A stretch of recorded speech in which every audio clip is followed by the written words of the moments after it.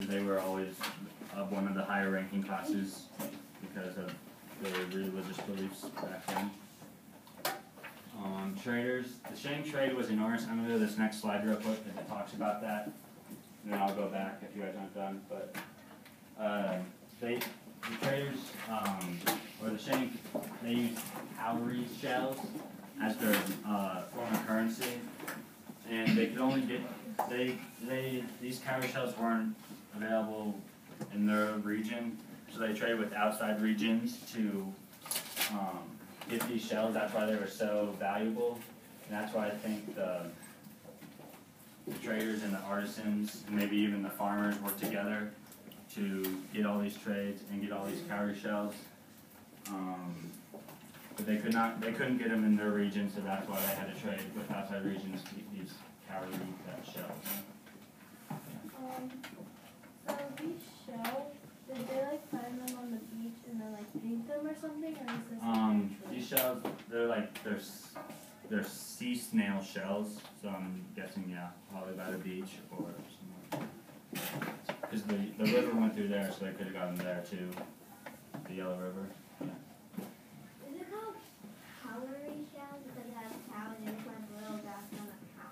Cowrie, yeah, we could, um, I'm not sure why they call it cowrie shells, but yeah, maybe it was a cow. But,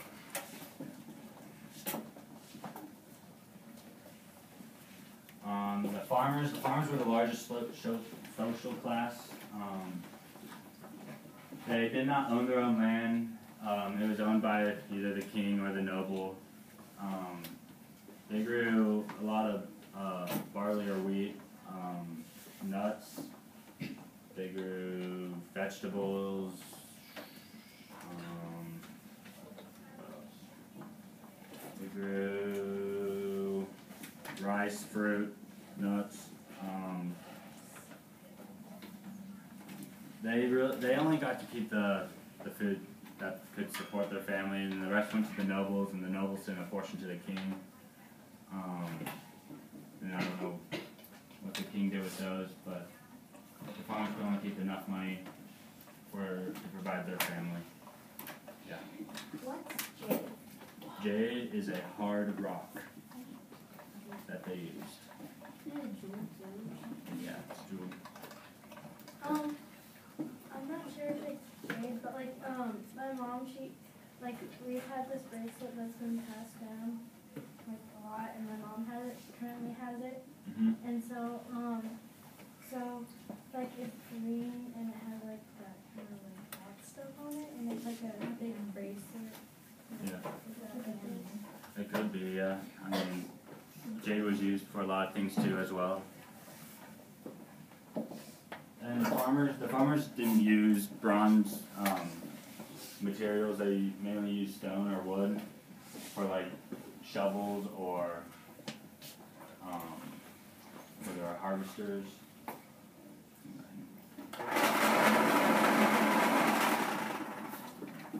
And the slaves, um, the slaves are prisoners of war. Um, they, brought- the soldiers would bring back many as like thirty thousand at a time. They were used as human sacrifices to serve nobles and kings in the afterlife. Um, they did. They spent most of their lives building tombs and palaces. They didn't really have a social rank. They didn't really make money. And yeah, yeah. So, what, what does it mean when it says prisoner of war? That means during the war, they were either they were captured or they were, they were like survived.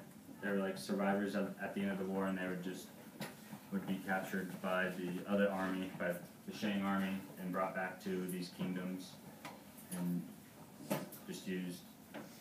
They used them to build tombs and human sacrifices.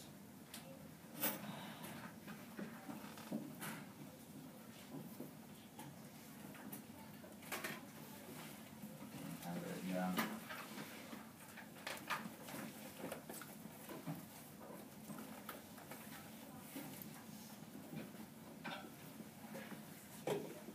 Okay, the end of the Shang dynasty, um, believe the kings were always in. They were in warfare all the time. Um, they would be fighting near and far armies. They, the kings and the nobles, they spent a lot. The last king that was in the Shang Dynasty, they spent a lot of time hunting. They spent a lot of money on their palaces, making adjustments in their houses, their clothing, their tombs, and this led to a weakening in their economy because they weren't really paying attention to the uh, citizens of their kingdom. Um, so around 1045 BCE, a frontier state uh, known as Zhao, Zhao, um, they came in, they unexpectedly attacked the Shang army and um, took over and basically overthrew the Shang dynasty and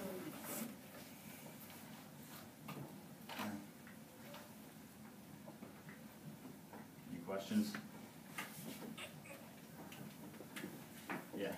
Where was the Zhou people from? There, well, at that time, the Shang Dynasty wasn't like the only civilization there.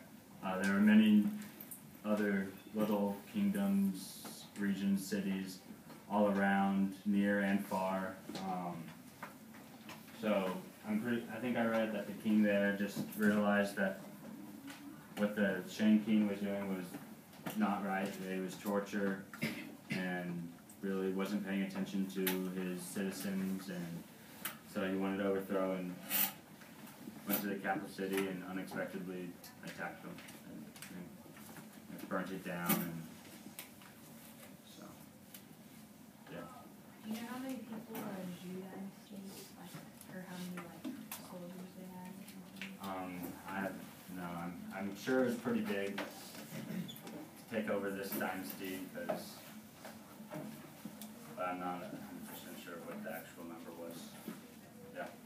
Did they like take all the say like slaves? Um, they might have. Um, you're gonna, we're going to talk about this more in the next section of the book, but I'm not 100% sure what they did with the survivors. They could, they probably didn't make them slaves or something. So, the king, the king died. They they think that the king um, took all his jewelry, put it on him, and they he ran and jumped into a fire. Okay. Because I, I don't know why. Maybe he was just embarrassed and didn't want to live anymore because he let he let his ancestors down. He in the water. let the kingdom down. All his jewelry. Yeah.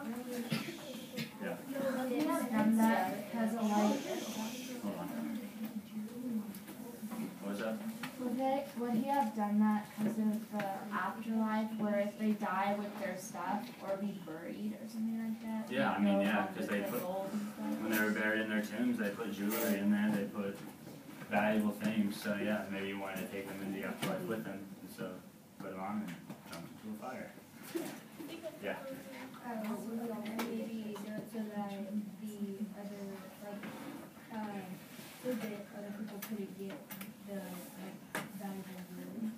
Yeah, he could have done that. So the king, the Zhao king, couldn't take his jewelry and yeah.